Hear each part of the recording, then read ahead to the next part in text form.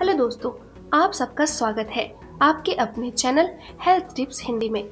आज मैं आप सबके लिए एक बहुत ही महत्वपूर्ण टॉपिक लेके आई हूँ। आज मैं आपको बताने वाली हूँ, दांतों में लगे हुए कीड़े गंदगी से मिनटों में छुटकारा पाए। आइए जानते हैं इसके बारे में। आज मैं एक ऐसे समस्या के बारे में बात करूँगी, जिससे लगभग बहुत सारे लोग ग्रसित हैं।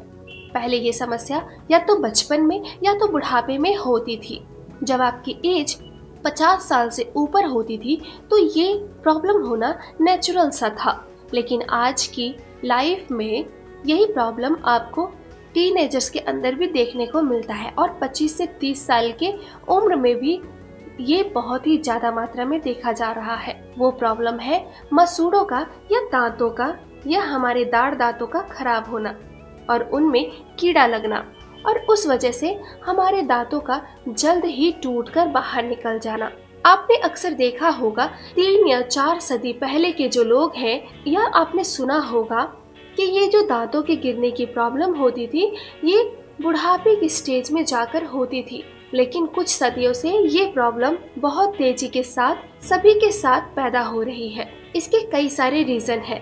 पहला रीजन है कि जब से टबैको प्रोडक्ट्स का इस्तेमाल किया जा रहा है, उसी वक्त से ज़्यादातर लोगों को दांतों की प्रॉब्लम हो रही है। दूसरा मेन रीज़न है कि आजकल खान पान में फास्ट फ़ूड और कोल्ड ड्रिंक्स ठंडी गर्म चीज़ों का सेवन ज़्यादातर किया जा रहा है। उसकी वजह से भी उसका सीधा सीधा इफ़ेक्ट हमारे दांतों पर होता है और हमारे दांत गलना शुरू हो जाते हैं। और उसके बाद वो धीरे धीरे उनमें कीड़े लगना शुरू हो जाते हैं और फिर दांत गिरकर बाहर हो जाते हैं।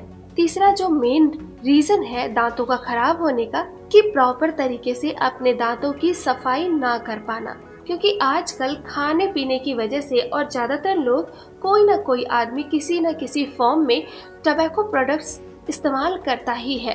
मैक्सिमम लोग टबैको प्रोडक्ट्स इस्तेमाल करते हैं, चाहे वो पान खाए, गुटखा खाए, या बीड़ी, सिगरेट, या हुक्का पिए।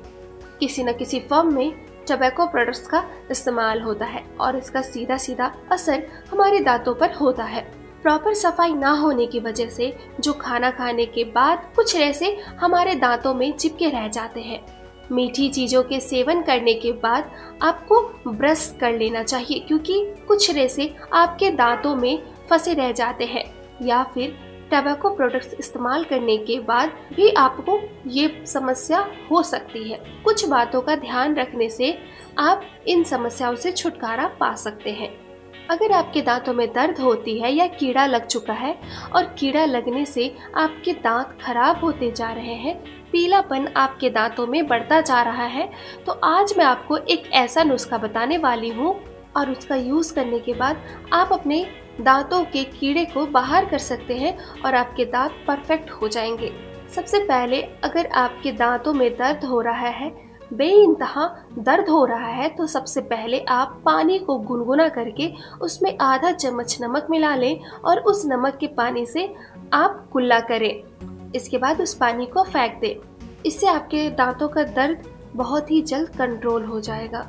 इसके अलावा चार पाँच लौंग को बारीक करके पीस लें, उसके बाद उस पाउडर को आप दांत के जहाँ पे कीड़ा लगा है, वहाँ रख दें और उसे दबा के अंदर रख दें। इसके बाद आपके मुँह में जो पानी आएगा, उसे बाहर ना निकालें, उसे पाँच से सात मिनट के लिए वैसे ही दबाए रखें। आप देखेंगे, आप फील करेंगे कि आपके दांतों का दर्द भी ठीक हो जाएगा और जो दांतों में लगा कीड़ा है, वो उस लार के थ्रू बाहर निकल आएगा। अगर आप ये प्रोसेस नहीं कर सकते हैं तो आप लौंग का तेल, जो कि मार्केट में बहुत ही आसानी से मिल जाएगा, ले सकते हैं। इसके बाद लौंग के तेल को रुई की सहायता से भिगोकर अपने दांतों में लगाकर रखें।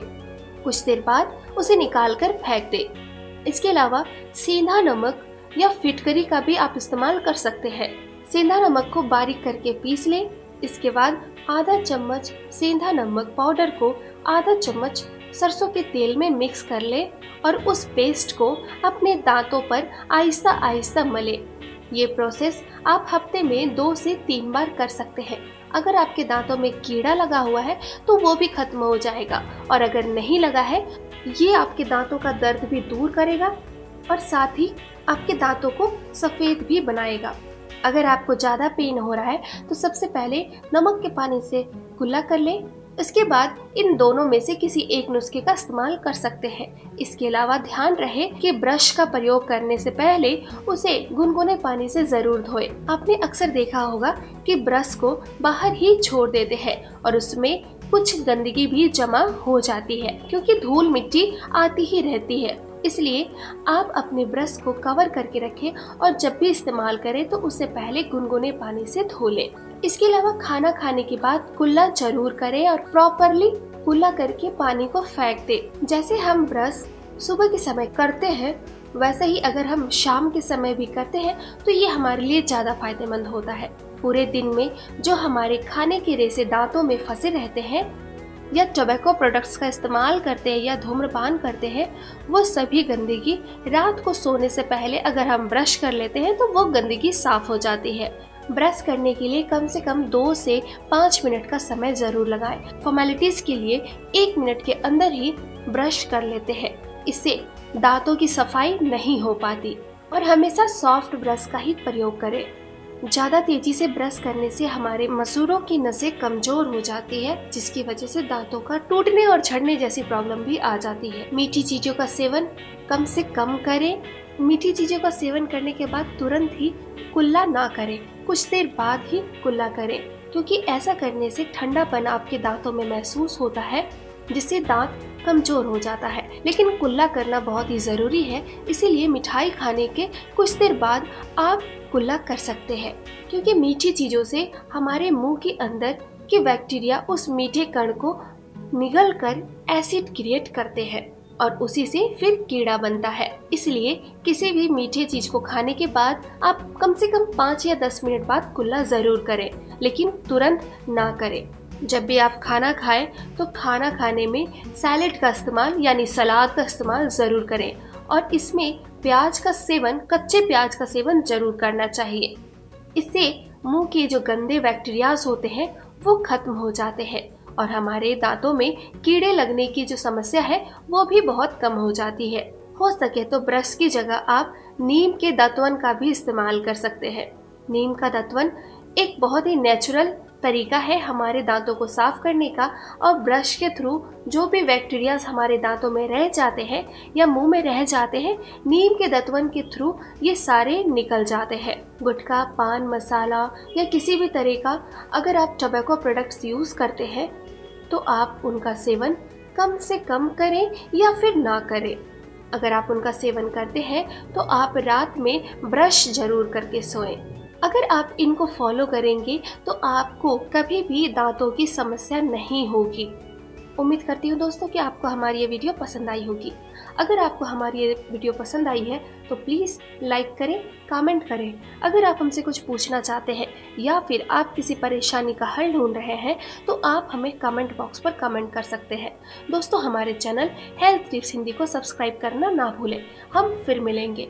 आपकी प्रॉब्लम हमारे सॉल्यूशन के साथ। मैं आऊँगी रोज़ाना नए नए घरेलू उपचारों के साथ, जिससे आप अपनी परेशानियों को दूर कर सकते हैं। तब तक के लिए फिट रहें हेल्दी रहें, खुश रहें।